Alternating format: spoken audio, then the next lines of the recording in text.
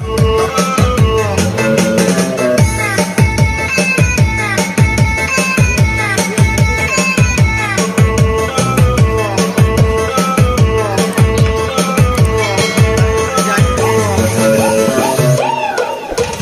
ơi phát ấy kề nắng mong cho sông lạ sông lắng xem